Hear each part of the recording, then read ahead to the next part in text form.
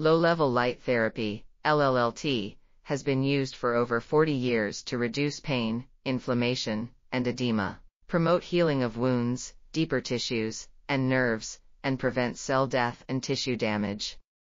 Despite positive findings from experiments in vitro, animal models, and randomized controlled clinical trials, LLLT remains controversial in mainstream medicine due to the complexity of rationally choosing amongst a large number of illumination parameters and the publication of negative studies as well as many positive ones. A biphasic dose response has been observed where low levels of light have a better effect on stimulating and repairing tissues than higher levels of light, which is described by the Arndt-Schulz curve.